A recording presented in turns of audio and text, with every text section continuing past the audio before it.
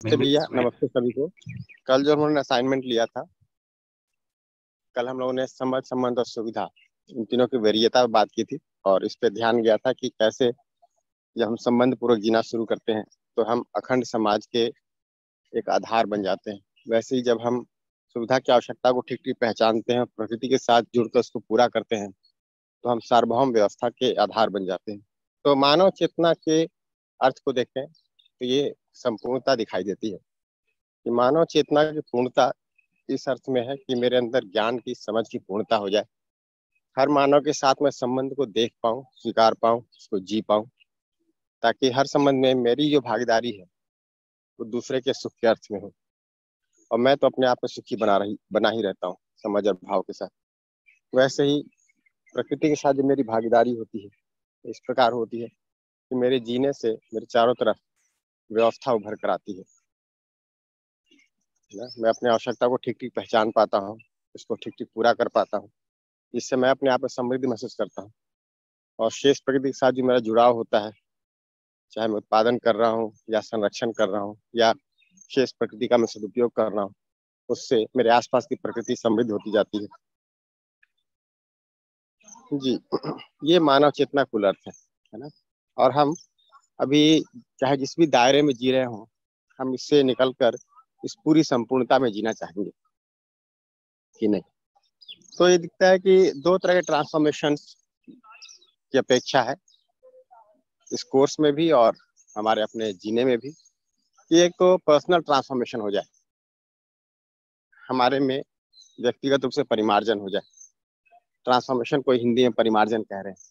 परिमार्जन का मतलब क्या ट्रांसफॉर्मेशन का मतलब?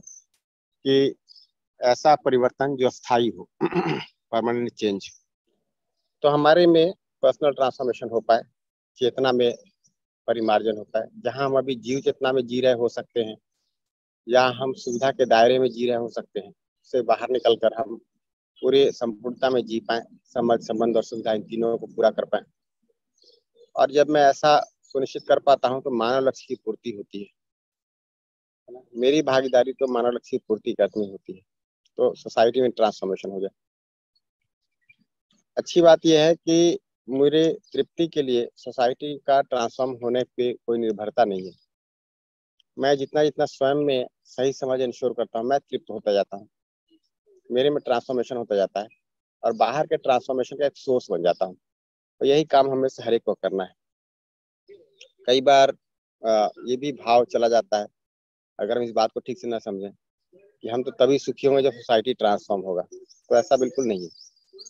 सोसाइटी जहाँ भी है, मुझे अपना रोल क्लियर हो जाता है।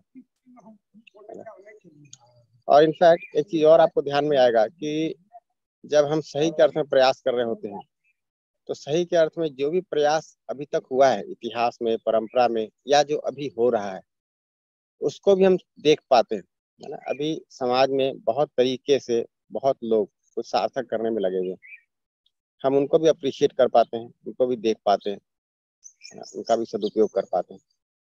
तो जितना जितना हम पर्सनल ट्रांसफॉर्मेशन के लिए काम करते हैं, उतना सोसाइटी के ट्रांसफॉर्मेशन में भागीदार हो जाते हैं। और सोसाइटी के ट्रांसफॉर्मेशन के लिए जो काम हो रहे हैं, उसको भी हम एक्नॉलेज कर पाते हैं, उसका कनेक्ट हो पाते हैं उसका सदुपयोग कर पाते हैं। तो ये दो ट्रांसफॉर्मेशन हैं जो होने हैं नमस्ते। भैया सोसाइटल ट्रांसफॉर्मेशन में जो जो सेल्फ ट्रांसफॉर्मेशन है, वो हम ऐसे समझ रहे हैं कि जैसे हम देख रहे हैं कि हम अपना जो विचार और अपेक्षा के स्टेट पे हैं तो वहाँ से हम अपने भाव देख पाए, भाव से जाके धारणा देख पाए और फिर धारणा में परिमार्जन करके हम मतलब ये अपने नेचुरल एक्सेप्टेंस से इस पे पहुँच जाए। सो हमारी एक सही समझ बन जाए। मगर ये समझ में आ रहा है सोसाइटल ट्रांसफॉर्मेशन में हमको क्या अपेक्षा है? जैसे कि हम देख पाते हैं कि ये सभी लेवल पे कहीं ना कहीं कॉन्फ्लिक्ट होता है सोसाइटी में। तो हम सभी लोग ये देख पाए कि सभी लोग नेचुरल एक्सेप्टेंस के लेवल पे जाके अपने धारणाओं में हुए जो विरोध है अंतर विरोध है, वो धीरे धीरे डिजोल्व होके अपने मतलब सभी लोग ये को एग्जिस्टेंस देख पाए। ये सोसाइटल ट्रांसफॉर्मेशन का अर्थ है, होगा? इसको अभी दोनों को भैया डिस्कस करेंगे। जैसे पर्सनल ट्रांसफॉर्मेशन का तो मतलब ये है जो सामने स्लाइड पे है। जहाँ हम सिर्फ़ कल्पनाशीलता के आयाम में ही क्रियाशील हैं उससे आगे बढ़कर हम ज्ञान के अनुभव के आयाम में भी क्रियाशील हो जाए। जी। ये पर्सनल ट्रांसफॉर्मेशन सोसाइटल ट्रांसफॉर्मेशन ये है। तो जहाँ मानव लक्ष्य की पहचान ही नहीं हो पा रही है बहुत सारी भ्रांतियों में जी रहे हैं और हर स्तर पर दुख और समस्या दिखाई दे रही है। चाहे व्यक्ति की बात करें परिवार की बात करें समाज की बात करें प्रकृति की बात करें उससे ट्रांसफॉर्म होकर हम इस मानव लक्ष्य को पूरा कर पाए। जैसा कल की शेयरिंग से निकल कर आ रहा था ना और अभी तक की शेयरिंग से निकल कर आ ही रहा है कि अगर व्यक्ति समझ पा रहा है तो कॉलेज में वातावरण बन रहा है क्लासरूम के अंदर वातावरण बन रहा है व्यक्ति के परिवार में वातावरण बन रहा है। तो धीरे धीरे सोसाइटी का ट्रांसफॉर्मेशन हो रहा है है ना? तो हमारे अंदर जितना परिमार्जन होता है उतना हमारे चारों तरफ़ सहज रूप से परिमार्जन होने ही लगता है।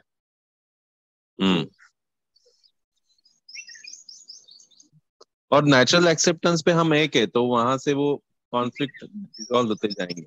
मतलब जब जितना हम उसके करीब पहुँचे जाए उतना उतना वो सब एक होता जाए। तो क्या हमको एक बार नेचुरल एक्सेप्टेंस स्पष्ट रूप से दिखाई देने लगे? और जैसा हम्म। है वैसा हम देख पाए। तो ज्ञान का जो आयाम है वो क्रियाशील होने लगता है। वो हम्म। होता है तो सहज रूप से हमारे अंदर कन्फ्लिक्ट चले जाते हैं क्योंकि जितना भी कन्फ्लिक्ट है वो मेरे मानने कारण है। जी। जानना हुआ और कन्फ्लिक्ट है ना गायब हो गया हट गया। तो कन्फ्लिक्ट मैंने ही बनाया हुआ था गलत चीज़ों को मानकर। तो कन्फ्लिक्ट मेरा अपना बनाया हुआ है स्वयं में। समाज में देखे तो हर मैं के द्वारा बनाया हुआ है। वास्तव में देखे तो कन्फ्लिक्ट है नहीं। जी। है ना? तो ये जो नीचे काले में लिखा हुआ है ये बहुत सारी मान्यताएँ बन गई हैं। इन मान्यताओं का कन्फ्लिक्ट बन गया है जो कई बार बात हो रही है कि अल्टीमेटली अगर हमको न समझ आए कि मेरी चाहना निरंतर सुख की है तो हम जिस चीज़ को सुख माने रहते हैं, उसको हम लेकर लगे रहते हैं और सुविधा संग्रह का काम कर रहे होते हैं। तो हमें ये भी पता होता है कि चाहना सुख की है, हम चाहना सुविधा मान लेते हैं और फिर उसकी निरंतरता बनाए रखने के लिए हम असंख्य, अनंत सुविधा संग्रह में लग जाते हैं।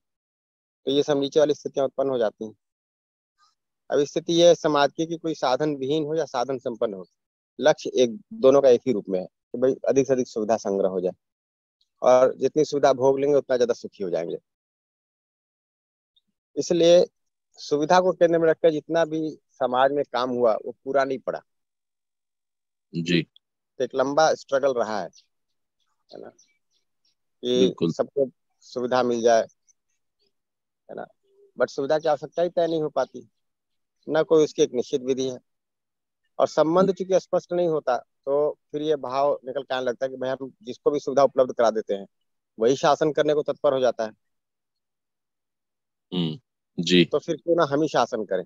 तब पाएँगे जितने भी सुविधा केंद्रित विचार से सरकारें बनी वो सरकारें बहुत ज़्यादा शासन और शोषण करने लगी। जी भैया। अभी भी चल रहा है। हम्म। तो बात तो हुई थी कि भाई सबको समान रूप से सुविधा मिले उसमें भी कई फॉर्मुलेशन आए। एक समान सुविधा मिले या आवश्यकता के अनुसार सुविधा मिले है ना? या जिसमें जितनी क्षमता है उसके अनुसार सुविधा मिले ये कई सारे फॉर्मुलेशन है। कम्युनिज्म सोशलिज्म है ना? मतलब हमारी धारणाएँ जैसी है वैसे हम आ, वो धारणाएँ के बीच में कॉन्फ्लिक्ट आने लगा मतलब क्योंकि धारणाओं के बीच में भी और धारणा अपने आप में भी कॉन्फ्लिक्ट पे आधारित थी। जी क्योंकि वो सही वो सुविधाओं के आधारित थी। सिर्फ़ हाँ, सुविधा हाँ। सुविधा आधार में क्यों आता है कि मानव को शरीर मान लेते हैं प्रकृति को जड़ मान लेते हैं? जी। है ना? तो जी। जीने की जो उपलब्धि दिखाई देती है वो सुविधा ही दिखाई देती है। दिन भर का जो कारकन दिखाई देता है वो सुविधा ही दिखाई देता है। और इसको जाँच भी नहीं पाते हैं है ना? और कई बार ये भी मान लिया गया जैसे कार्ल मार्क्स ने कह दिया कि रिलीजन ओपियम ये जो ज्ञान की बातें अफीम है ऐसा कह दिया है कि अगर लोगों को ज्ञान की बातों में लगा दोगे तो लोग वास्तविक मुद्दे पे बात नहीं करेंगे है ना? जैसे अफीम खाकर आदमी बेहोश हो जाता है वैसे ही बेहोशी में चले जाएँगे लोग। सेल्फ एक्सप्लोरेशन को उसने कंसिडर नहीं किया। हाँ बिल्कुल। समझा धर्म को। उस समय भी जो रिलीजन का सेंस था उसमें ऐसा हो सकता है कि मान्यताएँ बहुत है ना? मान्यताएँ कुप्रथाएँ बहुत बढ़ गई थी तो लोग उसमें उलझे हुए थे। उसने अपने हिसाब से जो उसको लगा वो किया उसने। क्या होगा? जी। रिलीजन का जो सही अर्थ है अगर वो दिख जाए तो रिलीजन का सही अर्थ ये है कि मानव का मानव चेतना में संक्रमण हो जाए। हर रिलीजन का यही लक्ष्य है। जी। ये नहीं दिखाई दिया है ना? तो वो ध्यान से हट गया। इसलिए सुविधा को लक्ष्य बना के बनाया गया। दूसरी तरफ़ अगर देखें तो लोगों ने कहा कि भाई नहीं इसमें जितना सुविधा संग्रह का पोटेंशियल है उसको उतना अवसर मिलना चाहिए। तो कैपिटलिज्म तैयार हो गया। जी। है ना? बट दोनों के केंद्र में देखें तो मूल रूप से सुविधा है। इसलिए उससे मानव लक्ष्य की पूर्ति की कोई संभावना नहीं है। बिल्कुल। सिर्फ़ ओनरशिप का डिफरेंस है। सुविधा है सिर्फ़ मतलब हाँ मतलब उसके साथ बहुत सारे और निकलेंगे डिफरेंसेस बट अल्टीमेटली देखें तो क्योंकि सुविधा केंद्र में है इससे समाज में व्यवस्था नहीं हो सकती। उससे व्यक्ति में भी व्यवस्था नहीं हो सकती। व्यक्ति भी अपने आप में कभी समृद्धि नहीं महसूस कर सकता। जी भैया। जी। जी धन्यवाद भैया। बढ़िया भैया। जी जी। नमस्ते भैया जी। जी नमस्ते। आज मैं जिस भी लेवल पे जैसे अब मैं यदि गृहिणी हूँ तो घर में भी देखा जाए तो जिस तरह से हम अपना अवेयरनेस पानी के लिए या ऐसी इलेक्ट्रिसिटी के लिए ऐसे छोटी छोटी से शुरू करें तो देखते मैं ये देख पा रही हूँ कि हम कई बार खुद में ही परेशान होने लग जाते हैं क्योंकि तो मैं खुद ही परेशान होने लग जाती हूँ क्योंकि जनरली कोई समझना नहीं चाहता है या हर कोई तो उसको ओवरलुक कर ही रहा है। ऐसे लगता है आपको क्यों इतनी परेशान होने की पड़ी? आप ये भी सेव करो वो भी सेव करो। वही ना। फिर ऐसा लगता है कि छोड़ देना ही पड़ता है कई बार ठीक है जिसको जो करना है अपने हिसाब से करो। मैं समझना चाह रही हूँ कि मतलब क्या करना चाहिए या उस चीज़ के लिए बार बार बोलना चाहिए या बच्चों को दे के लिए या मेड के लिए ऐसी सब चीज़ें मैं अपने सराउंडिंग में देख पाती हूँ। तो मुझे मतलब मैं कई जगह पे ऐसे देखती हूँ फैमिली में भी या किसी के यहाँ जाती हूँ तो तो मुझे मतलब थोड़ा परेशानी होती है कि ये लोग कैसे इतना वेस्ट कर रहे हैं। पर सॉल्यूशन तो नहीं दिखता है ये भी बात एक अपने आप में आप तभी क्या है मानव के स्वयं परिमार्जन के लिए कार्यक्रम नहीं है। जी जी। है ना? फिर उसके साथ जो भी बातें हम कहते हैं उसमें उसको सुख नहीं समझ में आता। है इसमें कोई सुख है? जैसे हम लाइट जलाकर छोड़ दे रहे हैं है ना? बिजली की बर्बादी हो रही है उससे संसाधनों की बर्बादी हो रही है। बट इससे मेरा सुख जुड़ा हुआ है ये व्यक्ति को स्पष्ट नहीं है। हम्म। जब स्पष्ट नहीं है तो इसलिए प्रेरणा नहीं बनती उत्साह नहीं बनता नहीं करते हैं। कि नहीं?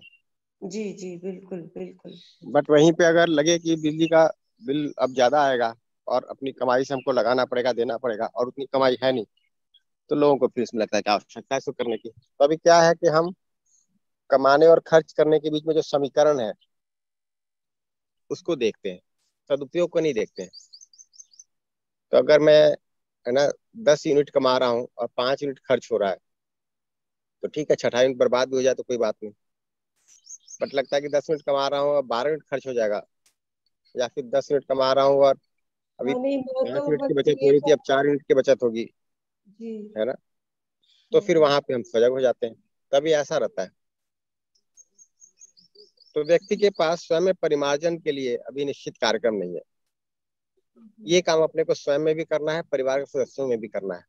तो एक तो हमारे अंदर स्वयं में काम ये शुरू हो जाए।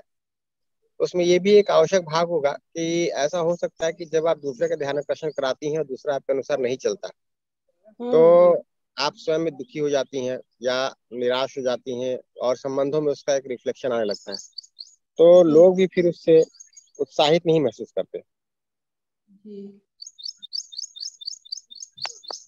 जी। भैया वो डिफरेंस की बात करूँ जैसे अभी घर में सहयोगी जो भी है व्यक्ति वो तो उस चीज़ को बिल्कुल समझ ही नहीं रहा है। और हम हाँ, चाहते हैं कि वो भी समझदार हो, हो। तो वो कनेक्शन नहीं बैठ पाता है उससे हमको ही परेशानी होती है। And you're working abroad, I asked you that day also. तो उस चीज़ को उस गैप को मैं कैसे समझू ये मैं थोड़ा सा समझना चाह रही थी।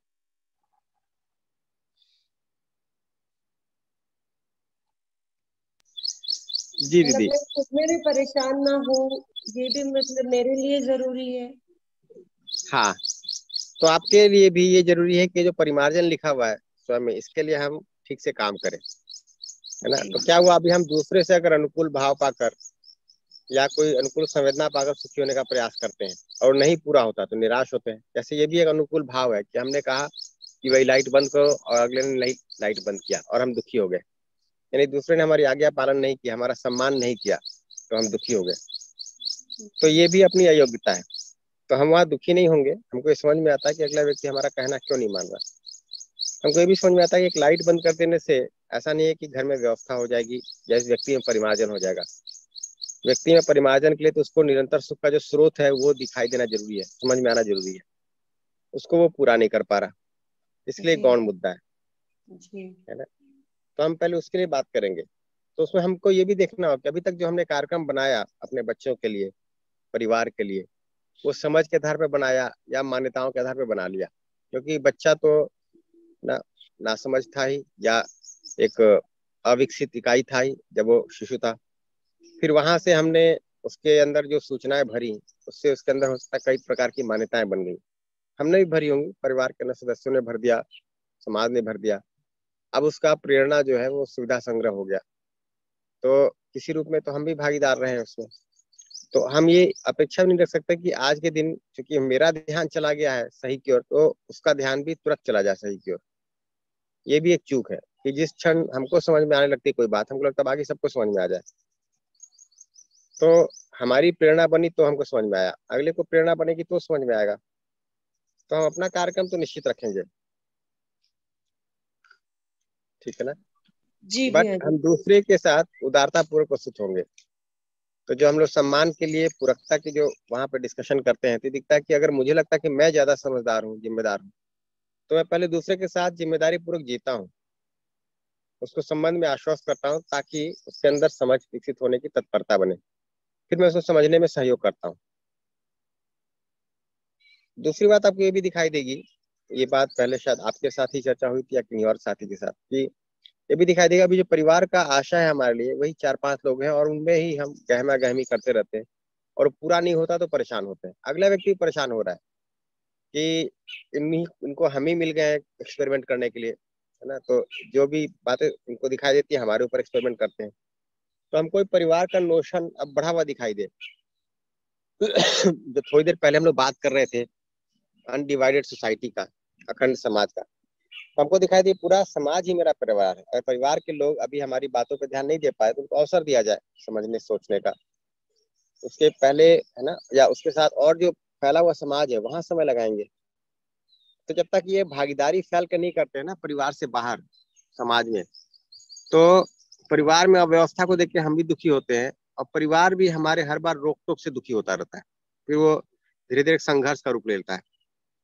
तो उसमें जिसको लगता है कि वो डोमिनेट हो सकता है उसको हम डोमिनेट कर देते हैं। जिसको लगता है कि डोमिनेट नहीं होगा उसको हम डोमिनेट नहीं कर सकते हैं नहीं कर पाते हैं।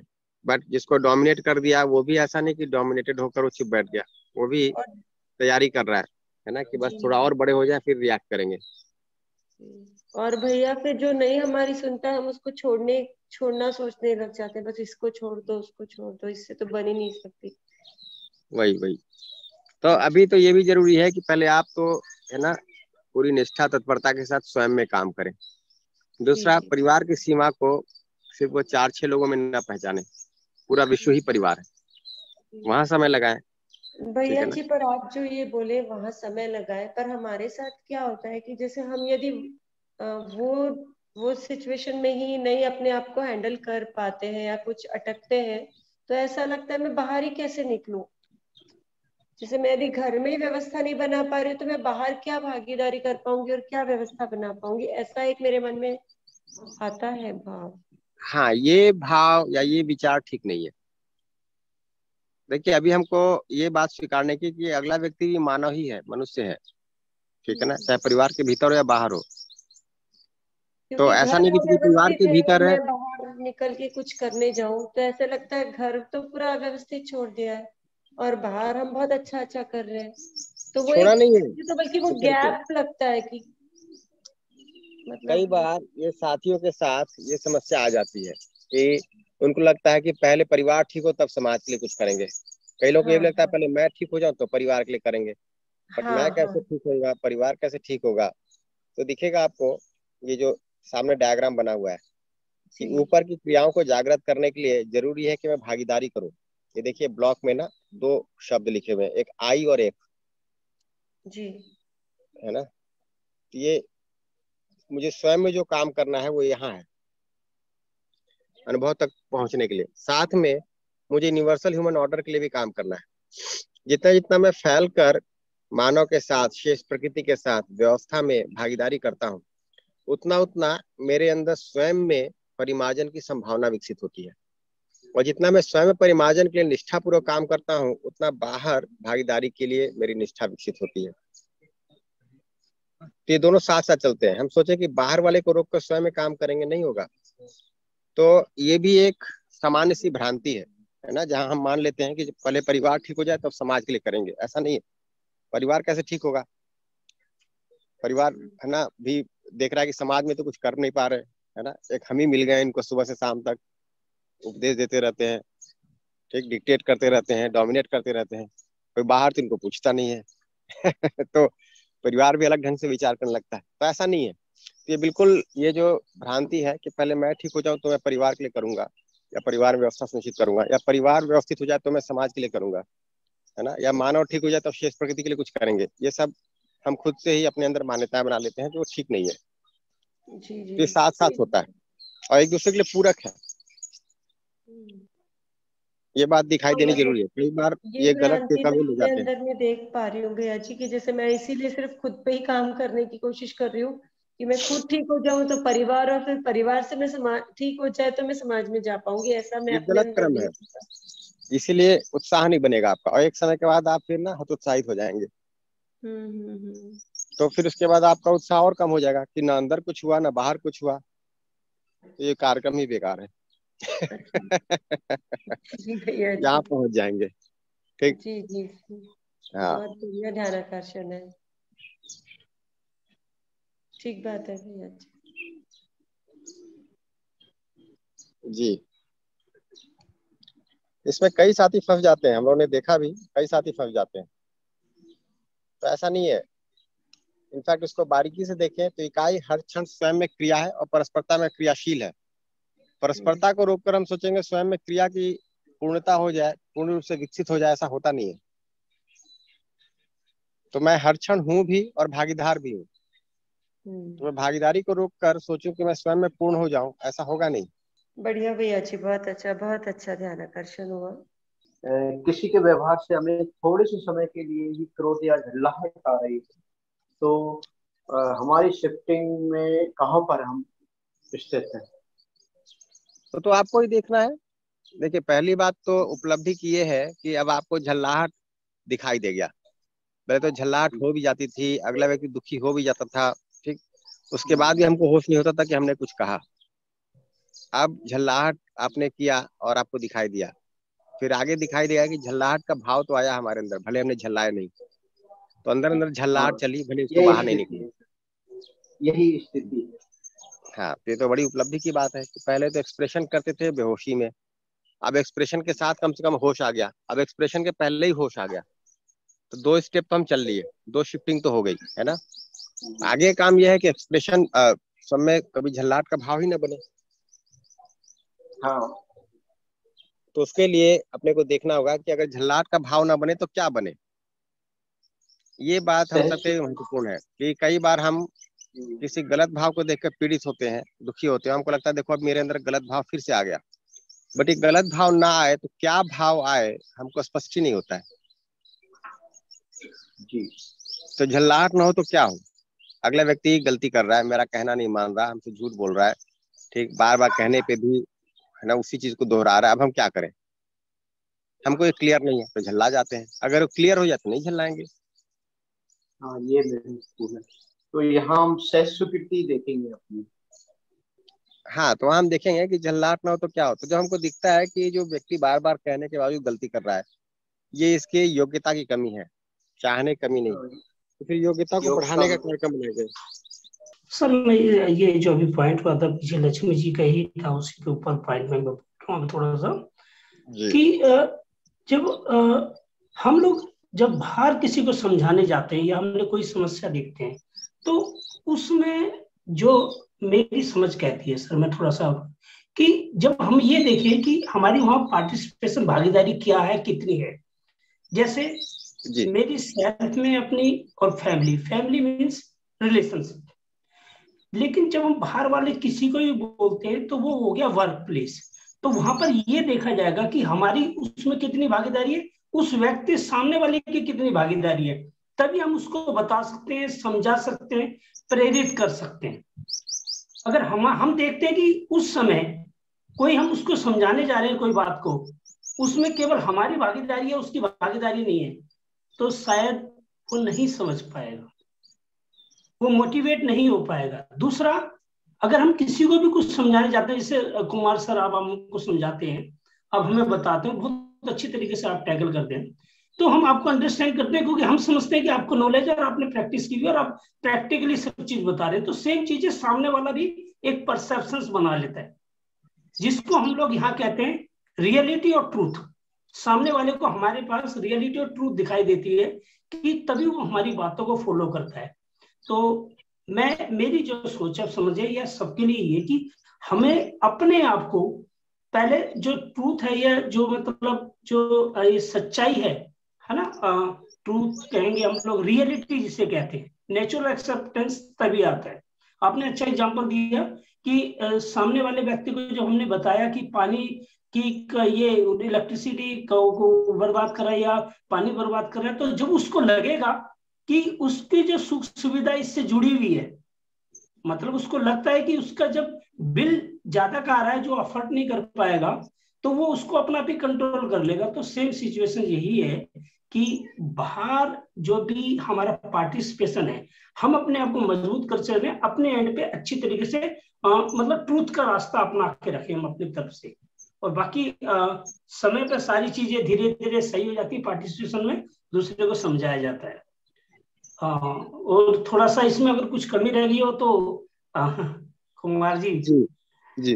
देखिए तो अगर पार्टिसिपेशन को स्वयं देखें वो तो हर क्षण हर संबंध में एक ही प्रकार से है। उभय सुख उभय समृद्धि है ना? बट एक्सप्रेशन में जब जब आते हैं तो एक्सप्रेशन में फिर हमारे संबंध में अभी किस प्रकार से निर्वाह हो रहा है उसके आधार पर तय करते हैं। तो अगले व्यक्ति का कॉम्पिटेंस क्या है मेरा अभी का कॉम्पिटेंस क्या है और हमारा कम्युनिकेशन आपस में किस प्रकार से अभी तक हुआ है उसके आधार पर तय करते हैं। अब जैसे हम मान लीजिए कहीं आप बैंक में काम कर रहे हैं और सामने काउंटर पे लोग आ रहे हैं है ना और क्यू लगी हुई है। अब उनके साथ मेरे आपका एक संपर्क हो रहा है कुछ मिनटों के लिए। वहाँ पे आप एक कार्यक्रम नहीं बनाएँगे समझाने का। वहाँ तो व्यक्ति किसी पर्पज से किसी काम से आया हो उस काम को आप पूरा कर देंगे। परंतु तो वहाँ भी आपकी भागीदारी तो निश्चित जब भी अवसर मिलेगा या हाँ। जब भी कुछ ऐसा संयोग बनेगा तो उनके साथ इस तरह के हम योजना कार्यक्रम पे काम करेंगे। परंतु हमारी भागीदारी निश्चित है। तो इन दोनों को अलग करके चले कि मेरी भागीदारी तो हर क्षण हर संबंध में एक ही प्रकार से है। ये सेल्फ का डेवलपमेंट हो जाए। यही मेरी भागीदारी है। एसेंशियली अगर देखें तो मेरे अंदर ये ट्रांसफॉर्मेशन हो जाए अगले के अंदर ट्रांसफॉर्मेशन हो जाए यही मेरी भागीदारी है। ठीक? बट उसको जो एक्सप्रेस करूँगा मैं, उसमें बहुत सारी चीज़ों का आकलन करके, अब मेरा कॉम्पिटेंस अभी कितना है, अगले कॉम्पिटेंस अभी कितना है, हमारे संबंध का निर्वाह अभी तक किस प्रकार से हुआ है, आगे के लिए क्या अवसर है, परिस्थिति क्या है, वातावरण कैसा है, इन सबको ध्यान में रखकर मैं उसको करूँगा। ऐसा नहीं कि हर व्यक्ति के साथ मैं जैसे ही बैठा और ये सब बातें समझाने लगे फिर अगला व्यक्ति है ना हो सकता है कि इस पूरे हाँ। वस्तु के प्रति विरोध में आ जाए। यस हाँ। तो काउंटर पे खड़ा होकर आपसे कह रहा है कि हमें टिकट दे दीजिए और आप समझाने लगे। तो वहाँ पे तो हाँ, बिल्कुल बिल्कुल सही कहा कि मैं पहले अपने पे काम करूँ फिर वो अपने आप परिवार फिर समाज और प्रकृति पे जाएगा। लेकिन थोड़ा काम मेहनत तो अपने पे कम ही हुई थी और उसके बाद परिवार को चेंज करने में लग गए कि नहीं पहले यहाँ होगा फिर बाहर जाएँगे। तो उसमें काफ़ी परेशान हुई मैं ऐसा बोल रही हूँ। अभी वो जो। दीदी बात कर रही थी ना उसी की बात कर रही हूँ मैं।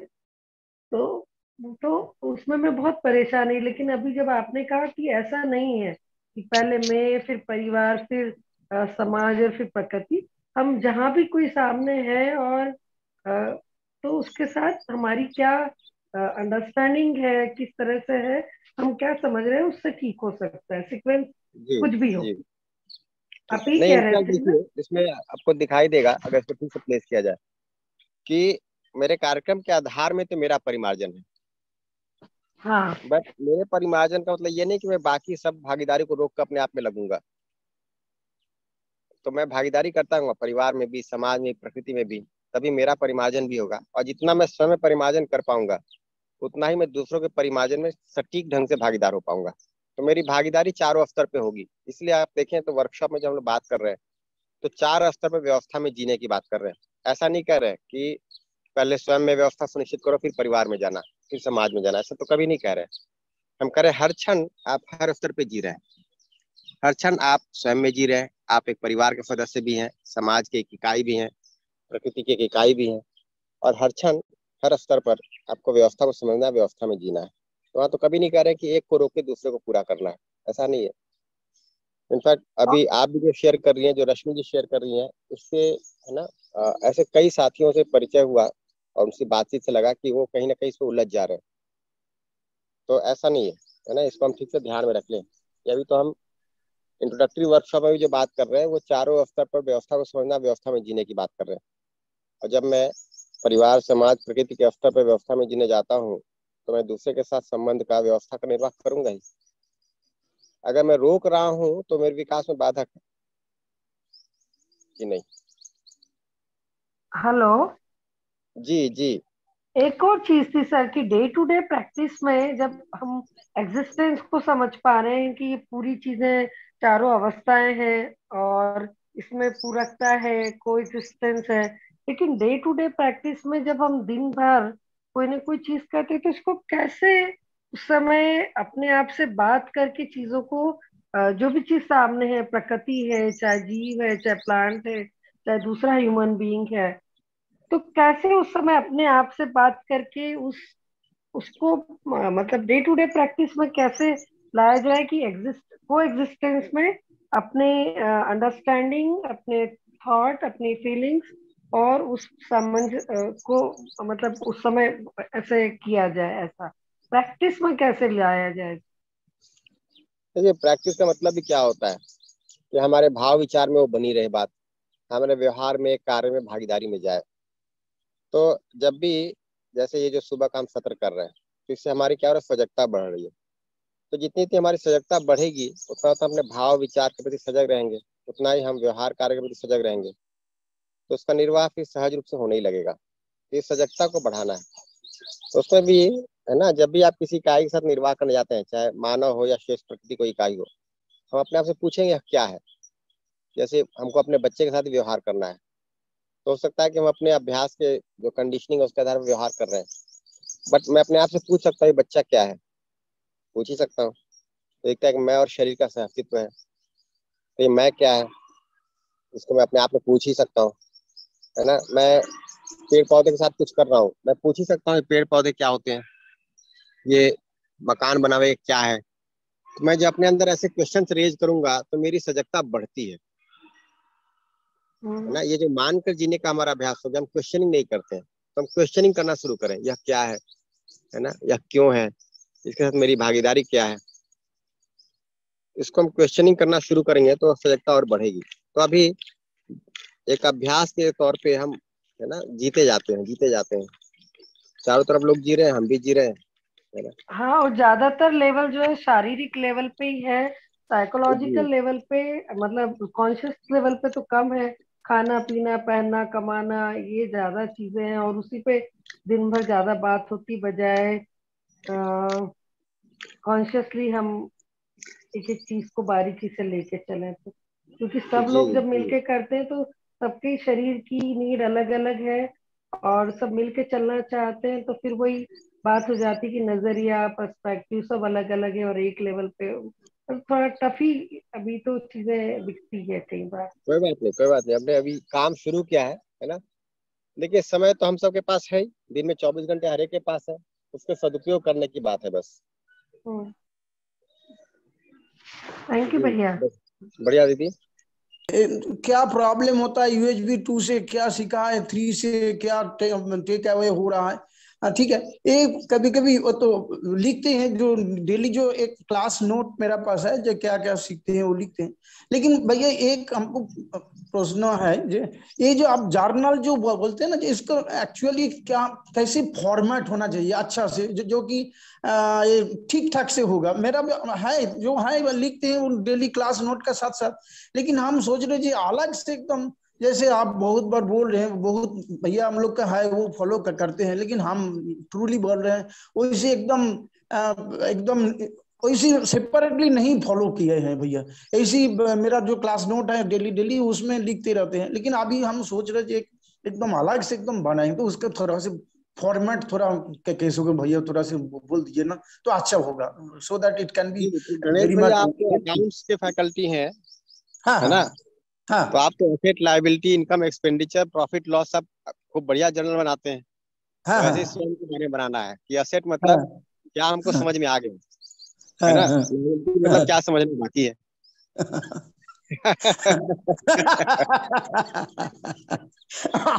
भैया हम आपसे जानने जा आप तो मेरा भाषा में आप समझा दिए एकदम। तो एक बार थोड़ा बोलिए ना आप, आप आपका हिसाब से जो बहुत यूजफुल होगा और वो अट्रैक्टिव होगा लाइक बोलिए ना भैया प्लीज़ थोड़ा सा। हाँ वही वही तो आपको ये बनाना है कि हमको क्या अभी तक समझ में आ गया है। ठीक? हाँ हाँ। समझना शेष है। तो जैसे हाँ, ध्यान जाएगा तो और भी जो चीज़ें शेष है समझने के लिए उसको हम लिखते जाएँगे। हाँ हाँ हाँ और उसके बाद डे टू डे हम ये भी देखते रहेंगे या at least once in week जे ये कितना मेरा पास था। पहले अभी क्या एडवांस हो रहा है उसमें जो हम पहले लिखे थे जे डाउट है या नहीं समझ रहे तो अभी वो समझ में आ रहा है कि नहीं ऐसे करते रहेंगे ना भैया? हाँ हाँ बिल्कुल। तो आप डेट वाइज तो ऊपर में हाँ, डेट लिख हाँ, दीजिए हाँ, नीचे में हाँ। जो हमने कल तक दिन भर में अभ्यास किया जो बातें हाँ, ध्यान में आ गई उसको लिख दीजिए। हाँ, जहाँ पे चूक हो गई उसको लिख दीजिए है ना? हाँ हाँ, हाँ। तो इसके लिए एकदम सेपरेट एक एकदम बना लेते हैं। जो बहुत सारा भाई बहन हम लोग वो किए हैं कर रहे हैं हम मालूम है लेकिन हम करेंगे अभी से। ओके थैंक यू भाई जी बिल्कुल बना लीजिए। जी बढ़िया थैंक यू हाँ हाँ हाँ। हाँ जी हाँ मैं ये कहना चाहता था, कल जो एक प्रश्न पूछा था ना, किसी पार्टिसिपेंट ने जो पूछा था कि कोई छात्र पूछ रहा था कि दूसरा व्यक्ति हम पर हमला करे तब क्या करना चाहिए? तो अपने शरीर के जो प्रतिरक्षा करना है सेल्फ डिफेंस करना, ये भी हमारे नेचुरल एक्सेप्टेंस में भी है टू प्रोटेक्ट अवर बॉडी और जब भी कोई हम पर हमला करता है तो अपने आप को डिफेंड करना, ये भी हमारा एक कर्तव्य है। भगवत गीता में भी यही कहा है कि इसमें छह तरह के आतताई कहे गए हैं। और जो आतताई है वो ये है कि दूसरे की जो मतलब संपत्ति को आग लगाते हैं या दूसरों पर अभी रुकिए रुकिए भैया अभी रुकिए। अभी हाँ। वहाँ उतना डिटेलिंग में नहीं जाते हैं। अच्छा। देखिए पहले तुमको ये दिखाई दे कि दूसरा तुमको क्यों मारने दौड़ रहा है? हाँ नहीं वो तो प्रिवेंशन आपका ठीक है कि कॉज हमको कॉज में हमको जानना चाहिए लेकिन जब सिचुएशन अराइज हो जाती है तो इंडियन पिनल कोड भी दूसरों की दूसरों की हत्या मतलब हत्या नहीं उसको ये कहा है कि दूसरों के प्राण लेना भारतीय दंड संहिता में कोई अपराध नहीं है। साथ ऐसी सिचुएशन है कि जैसे एसिड अटैक है या कोई किसी पर रेप करने आता है या कोई किसी पर अटैक करने की कोशिश करता है तो दूसरों की मृत्यु करना, भारतीय दंड संहिता में पूरी तरह से अलाउड है। Section 96 two one zero six जो कि क्रिमिनल लॉयर हूँ मैं तो इसलिए मैं बता रहा हूँ कि इसमें, और दूसरी बात भगवत गीता में भी कहा है कि शुद्रम हृदय दौर्बल्यम त्यक्तोत्तिष्ठ परंतप, और ये भी कहा है कि तस्मात युद्ध स्व भारत। तो जब सिचुएशन राइज हो जाती है तो सेल्फ प्रतिरक्षा करना, ये भी हमारा नेचुरल एक्सेप्टेंस है। इस, ये कहीं नहीं कहा गया कि कहीं अहिंसा वगैरह की तो कोई बात ही नहीं है भगवत गीता में। तो इसमें सिर्फ़ हमको ये देखना चाहिए कि जो कॉज है, दूसरा जो इस क्यों कर रहा है तो वो जो प्रिवेंशन के लिए आपने जो तरीका बताया, वो ये सही है कि अनडिवाइडेड सोसाइटी यदि हो तो इस तरह की मतलब सिचुएशन ही अराइज नहीं होंगी। लेकिन जब सिचुएशन अराइज हो जाती है तो फिर उसमें कहीं पर भी मतलब हिंसा करने के लिए ना तो भगवत गीता में, ना तो कोई किसी धर्मशास्त्र में या भारतीय दंड संहिता में कोई भी इस तरह का प्रतिबंध नहीं है। फिर प्रतिरक्षा में ये करना अलाउड है, बिल्कुल। कि जब दूसरे को कोई जहर देता है दूसरों का कोई खेत लेता है दूसरों की संपत्ति छीनता है तो ये छह तरह के मतलब वो आतताई कहे गए हैं और जो आतताई है तो उन पर मतलब एक सेल्फ रक्षा में। हाँ लेकिन ये नहीं होता है कि जो प्रोपोर्शनेट होना चाहिए। इंडियन पिनल कोड में भी प्रतिबंध है कि जैसे पुलिस आती है तो हमारा राइट ऑफ़ सेल्फ डिफेंस खत्म हो जाता है क्योंकि वो फिर कस्टडी में लेता है। कस्टडी का मतलब होता है अभिरक्षा मतलब वो कानून की अभिरक्षा में माना जाता है। दूसरी बात है कि फिर ऐसा नहीं है कि जितना प्रोपोर्शनेट है उतना ही हमको करना चाहिए। ये नहीं कि चलो चोर आ गया लग तो उसका मर्डर ही कर डालते अब। तो इस इतना मतलब अलाउड नहीं है। तो जो भी मतलब उस पर कुछ प्रतिबंध है कि सेल्फ डिफेंस का राइट कितना होता है तो ये जो आत्मरक्षा में कार्य नहीं करना इस तरह की कोई भी उसमें बात इसमें नहीं आती है। कोई नेचुरल एक्सेप्टेंस सभी का यही है कि अपनी प्रतिरक्षा करना है दूसरों की प्रतिरक्षा करना है। और मान लो किसी पर कोई अटैक हो रहा है चाहे वो पर्सन से रिलेटेड हो या ना हो वीरेंद्र जी बहुत सारा फैल जाएगा देखिए। हाँ अभी तो हमको ये जो स्वयं में जो करने वाला काम है इस पे तो पहले हम ठीक से ध्यान दें है ना? हाँ। ये काम अगर स्वयं में नहीं करते हैं फिर हम दूसरों के साथ विरोध का ही निर्वाह कर रहे होते हैं। तो हम्म। हम स्वयं में भी विरोध के भाव से भरे रहते हैं। अगले व्यक्ति के साथ भी संबंध में हम संबंध के बजाय विरोध का निर्वाह कर रहे होते हैं और फिर ऐसी प्रतिकूल परिस्थितियाँ बनती रहती हैं। अगर हम स्वयं को शरीर मान के जिए तो उसमें भी बहुत सारी प्रतिकूल परिस्थितियाँ हम खुद ही बनाते रहते हैं। तो पहले तो स्वयं में जो करने का काम है उसको हम देख लें है ना? दूसरी बात कि अगर कोई ऐसी परिस्थिति बन भी गई तो जो पीनल कोड है अगर आप देखें तो ये कोई यूनिवर्सल तो है नहीं और ना ही कंटिन्यूअस है तो ये पीनल कोड भी समय के साथ बदलते रहते हैं। एक देश में एक तरह का पीनल कोड है दूसरे देश में दूसरे तरह का पीनल कोड है। हाँ, तो तो इंडिया में भी नया आने वाला है। जी? इंडिया में भी नया आईपीसी और सीआरपीसी और एविडेंस एक्ट आने हाँ वाला है। तो इसको आधार बनाकर तो मूल्यांकन नहीं कर सकते ना। हाँ हाँ लेकिन धर्मशास्त्रों में भी यही बात कही गई है कि मतलब अभी वहाँ आत्मरक्षा के लिए सेल्फ डिफेंस करना जो है ये अलाउड है और शरीर को प्रोटेक्ट करना ये हमारी ड्यूटी है अपना और स्वयं का भी दूसरों का भी। देखिए अभी जो बात हो रही है कि ना तो धर्मशास्त्र के आधार पर हमको ना जांचना है ना पीनल कोड के आधार पर जांचना है। हमको तो अपनी नेचुरल एक्सेप्टेंस पर भी हम यदि बात करें तो नेचुरल एक्सेप्टेंस पर भी ये है कि सबसे पूछा जाए कि आप पर अटैक होता है या आपकी बहन बेटी पर अटैक होता है तो आपके लिए क्या नेचुरल एक्सेप्टेबल है? तो सबका जवाब यही होगा कि हमको डिफेंड करना चाहिए प्रतिरक्षा करनी चाहिए। तो सेल्फ डिफेंस जो है वो यूनिवर्सली एक्सेप्टेबल है। जी तो करें है ना? बट उसमें भी हम देख लें कि उस समय हमारा भाव क्या है संबंध का है या हाँ बिल्कुल भाव देखना ज़रूरी कि भाव हमारा विरोध का नहीं होना चाहिए। जैसे कि ये था कि चूँकि मेरे रिश्तेदार है इसलिए मैं इनको छोड़ दू ये जो अर्जुन की उसमें भावना थी तो उसने कहा कि ये चूँकि धर्म के खिलाफ है और ये आतताई लोग है तो इसलिए इनको मारने में कोई पाप नहीं होता है। और इसलिए उसमें भैया हाँ। ऐसा है ना कि अभी आप बार बार शिफ्ट हो जा रहे हैं। देखिए इतिहास में महाभारत का युद्ध हुआ ठीक है ना? उसकी पूरी हम्म। पृष्ठभूमि बनी हम्म हम्म, ठीक? अभी क्या होता है कि जैसे ही हमारे साथ कोई इस तरह की प्रतिकूल परिस्थिति बनती है हम तो अपने बारे में मान लें कि हम तो धर्म के पक्ष में है अगला हम्म, धर्म के पक्ष में है ठीक? ना हमको धर्म का पता है ना अगले को धर्म का पता है। हम अपने को अर्जुन और कृष्ण मान लेते हैं है ना? दूसरे को कौरव मान लेते हैं। हाँ, नहीं ये एक मेजर चूक है कि जब भी हमको अपने द्वारा किए गए विरोध को जस्टिफाई करना होता है तो हम कोई हम्म, शास्त्र ले लेते हैं। शास्त्र में हम हम्म, स्वयं में स्वयं को धर्म के पक्ष में खड़ा कर देते हैं दूसरे को अधर्म के पक्ष में। दूसरा भी यही गलती कर सकता है। वो अपने आप हम्म, को धर्म के पक्ष में खड़ा रख रहा है और हमको अधर्म में। हम्म, इससे कभी निष्कर्ष नहीं निकलेगा। हम्म, निष्कर्ष इस बात से निकलेगा कि मैं भी जहाँ पे हूँ जिस क्षण में संबंध का निर्वाह कर रहा हूँ। वहाँ मेरे अंदर भाव क्या है? संबंध का या विरोध का? और हम्म, ऐसी प्रतिकूल घातक परिस्थितियाँ एक दिन में नहीं बन जाती है ना? कुछ एक्सेप्शन भले ही हो सकते हैं है ना? परंतु हमको डेवन से दिखाई देता है। अगर हमारा जीना है ना इस अर्थ में है कि मेरा स्वयं का परिमार्जन हो जाए और समाज में परिमार्जन हो जाए तो बहुत कम संभावना है कि ऐसी परिस्थितियाँ बनेंगी। अगर मैं सुविधा हाँ। की आवश्यकता को ठीक ठीक पहचान रहा हूँ संबंध पूर्वक निर्वाह कर रहा हूँ तो बहुत कम संभावना है कि ऐसी संभावना बनेगी। ठीक है ना? तो पहले हम हाँ, उसको तो ठीक से जी लें उसको तो पूरा करें। वो पूरा नहीं करते हैं है ना? हम खुद गलत जी रहे होते हैं। ठीक? और जब प्रतिकूल परिस्थिति फंसते हैं तो अपने आप को मान लेते हैं कि हम तो भाई अर्जुन है। हम्म, ठीक? और दूसरा कौरव है। तो ये फिर वहाँ भी गलती हो जाती है। तो पहले हम समझें तो अभी देखिए महाभारत में भी जो कहा जा रहा है गीता में भी जो कहा जा रहा है उसको हमने नहीं समझा है। ठीक है ना? और हमने उसमें से कुछ ही चीज़ पिक कर लिया अपने लिए जो हमको अनुकूल बैठा। हम्म, ना वो तो पूरे समय वीत राग में जीने की बात की जा रही है। वो तो पूरे समय है ना राग और द्वेष से मुक्त होने की बात की जा रही है। वो हमको करना नहीं होता है।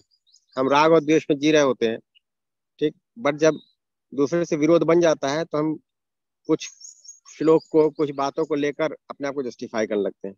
तो हम राग और द्वेष से तो पहले मुक्त हो। हम्म, ये राग और द्वेष पूर्वक जो जीना है है ना? इसी से युद्ध की संभावना बन रही है। हम्म, हम्म, पहले हम उससे तो निकले। तो ये जो परिमार्जन स्वयं में बात हो रही है उसी के लिए है कि पहले हम संबंध को समझ पाए व्यवस्था को समझ पाए अस्तित्व को समझ पाए तब जाके राग और द्वेष से निकल पाते हैं। नहीं तो दूसरे संबंध की रहे यस फीलिंग संबंध की रहे तो फिर विरोध नहीं होगा सही बात है। प्रिवेंशन के लिए वो सही है।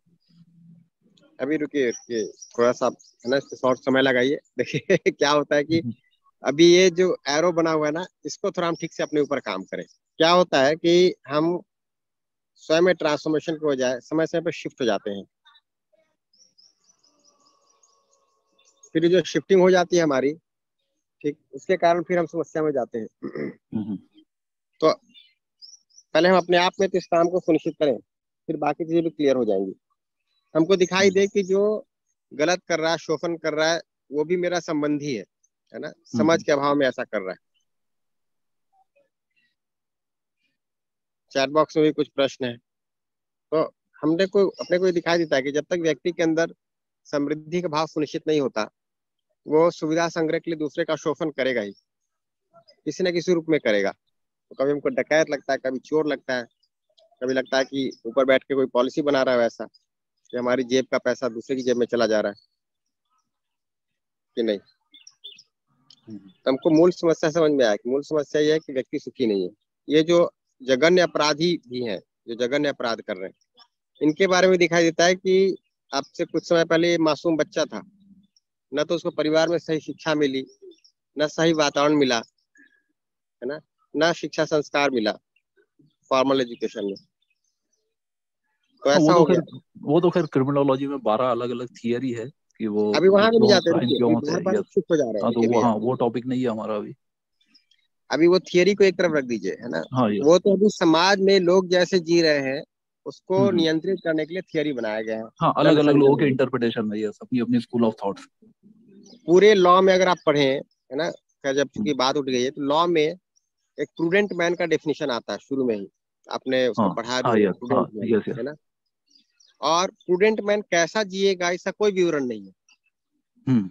आप पूरे लॉ की सारी बुक उठा के देख लीजिए एक प्रूडेंट मैन क्या होता है उसका कोई डिस्क्रिप्शन नहीं है। हाँ वो ही हैं मतलब बहुत गंभीर मुद्दा है। हम्म। आप जितने भी ये शास्त्र हम पढ़ रहे पढ़ा रहे हैं ना उसमें सही आचरण का कोई विवरण नहीं है। तो हम्म। पूरे लॉ में प्रूडेंट मैन का कोई डिस्क्रिप्शन नहीं है। इतना हम्म कहते हैं हम्म, कि प्रूडेंट मैन क्या क्या नहीं करेगा। और जो जो हाँ नहीं हाँ। करेगा उसको हमने अपराध कहा और लिए दंड तय कर दिया। हम्म हम्म, प्रूडेंट मैन क्या होगा कैसा होगा उसका आचरण कैसा होगा उसकी समझ क्या होगी इस पर कोई विवरण ही नहीं है पूरी बात में। आप इसको पूरे लॉ के जितने बुक्स हैं एकदम आप किसी भी लॉ के पास जाते हैं तो देखते हैं कि कम से कम सौ बुक्स तो उसके रैक में दिखाई देते हैं ज़्यादा ही। आप हम्म किसी हम्म, बुक को उठा के पढ़ लीजिए प्रूडेंट मैन क्या होता है उसका आचरण कैसा होता है है ना? उसका कोई डिस्क्रिप्शन नहीं है। हाँ सामान्य समझ या कॉमन सेंस कहा गया बस। फिर हम गलत हो गए ना यहाँ पे। अब हम्म, आप हाँ नहीं समझ वर्ड जो है ना कल मैं कल इस पे पर ये भी बोलने वाला था समझ जो है इसको भी नॉर्थ इंडिया और साउथ इंडिया में अलग अलग तरह से लेते हैं। समझ को नॉर्थ इंडिया में कुछ लोग पसंद या लाइक या डिसलाइक के सेंस में यूज़ करते हैं। दुकान दुकान में सामान लेने जाते हैं तो सामान किसी ने नहीं खरीदा तो कि आपको समझ नहीं आया क्या? मतलब वो ऐसा लगता है जैसे हमारी इंटेलेक्ट को चैलेंज कर रहा है जबकि वो लाइक और डिसलाइक के सेंस में नॉर्थ इंडिया में कुछ लोग यूज़ करते हैं जबकि समझ का जो अर्थ है वो साउथ इंडिया में या महाराष्ट्र में गुजरात में इस तरह से नहीं है। तो समझ को कुछ लोग पसंद मान लेते हैं ये सम, ये भी एक मतलब समझ का एक गलत वो है इंटरप्रिटेशन मेरे ख्याल से। जी जी तो हमको तो पहले स्पष्ट हो। हम्म। कि समझ मतलब ये जो ऊपर का हम्म, हाँ डायग्राम समझ मतलब पसंद हो या नापसंद या लाइक डिसलाइक नहीं है जैसा दु, दुकानदार बोलते कि आपको समझ नहीं आया क्या सामान लिए बिना जा रहे। जी। तो ऐसे आप देखेंगे कि अभी जितने भी बुक्स हम पढ़ रहे हैं पढ़ा रहे हैं उसमें क्राइसिस है। लॉ में प्रूडेंट मैन के बारे में कोई डिस्क्रिप्शन नहीं है क्या होता है कैसा हम्म, होता है। साइकोलॉजी में शुरू में लिख देते हैं कि जितने भी यहाँ पे सिद्धांत लिखे जा रहे हैं ये सिद्धांत दो तरह के लोगों पे लागू नहीं होंगे एक संत पे और दूसरे पागल आदमी पे। फिर बात शुरू करते हैं। हाँ ये क्राइसिस है आज के दिन एजुकेशन में। क्योंकि जो सही मानव है उसको हमने संत कह दिया उसको हमने सिलेबस से बाहर कर दिया। ठीक? पूरे लॉ में हमने प्रूडेंट मैन को सिलेबस से बाहर कर दिया। उसके बारे में कोई बात नहीं करेंगे। तो हम्म, हमें तो पहले ये बात करनी प्रूडेंट मैन होता क्या है? उसका आचरण क्या होता है? है ना? सोशियोलॉजी में हमने मानव को सामाजिक प्राणी कह दिया सोशल एनिमल कह दिया। उसको एनिमल कह के बात शुरू की। अब बताइए जब हाँ आदमी कोई एनिमल मान लेंगे तो उसमें ज्ञान की बात क्या करेंगे? तो पूरे सोशियोलॉजी में ज्ञान की कोई बात नहीं है। ऐसा आपको दिखाई देगा स्पष्ट रूप से। अब कुछ आदमी तो एनिमल में तो एनिमल की तरह ही रहते हैं। इकोनॉमिक्स में सुविधा की आवश्यकता की पहचान कैसे होगी इसका कोई विवरण नहीं है। हम्म, ये क्राइसिस हाँ। ये जितने भी किताबें आप उठा के पढ़ेंगे इनमें एक हम्म, क्राइसिस है। जितने ह्यूमैनिटीज के लॉ के मास कम्युनिकेशन के जितने भी कोर्सेज हैं है ना? हम्म, जितने बुक्स हैं इसमें क्राइसिस है। उस पर हम कोई बात नहीं करते। और फिर हम उसमें एनालिसिस करना शुरू करते हैं। कि भाई है ना छह तरह के अपराध है जिसमें हत्या हो सकती है बाकी जो है ये नहीं हो सकता फिर उसमें ये है ना उसमें फिर हम कम बेसी करते रहते हैं। हम्म, भाई हम ये तो देखेंगे अपराध हो क्यों रहा है? हम्म, और अपराध बाहर एक्सप्रेशन में बहुत बाद में हो रहा है। जो अपराध एक्सप्रेशन में आ रहा है जो न्यूज़ में आ रहा है उसका लाखवा हिस्सा है जो स्वयं में चल रहा है। हाँ मतलब चार स्टेजेस ऑफ़ क्राइम है कि पहले जो है गिल्टी स्टेट ऑफ़ माइंड है पहले मेंस रिया हाँ। उसके बाद फिर प्रिपरेशन फिर अटेम्प्ट और उसके बाद एक्टस रियस ये चार स्टेज की जो मेंस रिया है वो गिल्टी स्टेट ऑफ़ माइंड है जिसके लिए कानून में कोई पनिशमेंट नहीं है। मतलब दिमाग में गलत सोचना जो है ये अपराध नहीं है। हाँ प्रिपरेशन में तो पच्चीस परसेंट है में फिफ्टी परसेंट है और जब एक्ट हो जाता है एक्टस रियस तब हंड्रेड परसेंट पनिशमेंट है। दिमाग में नहीं है वो भी समझने की बात है। दिमाग का भी प्रॉब्लम नहीं है प्रॉब्लम सेल्फ का है। और पूरे एजुकेशन सिस्टम में है ना दिमाग के बारे में बात होती है सेल्फ के बारे में बात होती नहीं है। हम्म, क्योंकि मानव को शरीर मान लेते हैं। हम्म, हम्म, बढ़िया बढ़िया वीरेन जी इस पे बहुत सारा स्कोप रहेगा। थोड़ा सा आपको ये ध्यान रखना होगा कि ये जो हमारी शिफ्टिंग हो जाती है ना तो अपने नेचुरल एक्सेप्टेंसी से वेरीफाई करेंगे तब तुमको डेफिनेट आंसर्स मिलेंगे है ना? ओके नहीं तो फिर इसमें एनालिसिस ही होगा उससे कुछ निकलेगा नहीं। तो मतलब वो जो वहाँ जो रियलाइजेशन का बात कर रहा है तो वहाँ जाकर हम देखे थे देखते हैं तो फिर वो लौट कर आते हैं तो तो नेचुरल एक्सेप्टेंस का बात जो शुरू से हम जो पी टू से शुरू किए थे तो वो जो लूप का कैसे आप मतलब थोड़ा विस्तार से बता सकते हैं? देखिए लूप जैसा कुछ नहीं है वो तो एक लीनियर प्रोसेस है। लूप में तो हाँ तब हम जाते हैं तो ये डेवलपमेंट है है ना?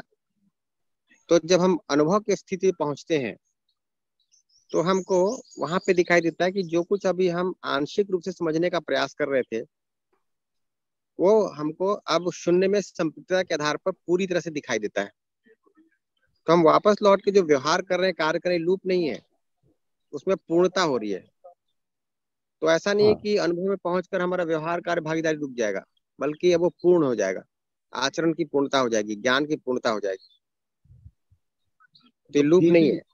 वहाँ से तो नेचुरल एक्सेप्टेंस नहीं देखने से तो पूर्णता नहीं होगा ना सर? देखिए नेचुरल एक्सेप्टेंस का मतलब ही क्या हुआ कि ये जो पर्पल कलर में जो लिखा हुआ है ऊपर में इसका जो पोटेंशियल है मेरे अंदर वही मेरा नेचुरल एक्सेप्टेंस है। जी। इसको देख देख पाता हूँ तो रियलाइजेशन आता है ना सर? हाँ, इसको मैं पूरी तरह से देख पाता तो रियलाइजेशन था उससे पहले कॉन्टेम्पलेशन अंडरस्टैंडिंग इसीलिए मैं काम कर रहा होता हूँ।